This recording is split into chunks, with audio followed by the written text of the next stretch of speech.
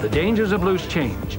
However, you can exchange your change for tasty stuff from the McValue menu, including a cheeseburger deluxe for $2.50.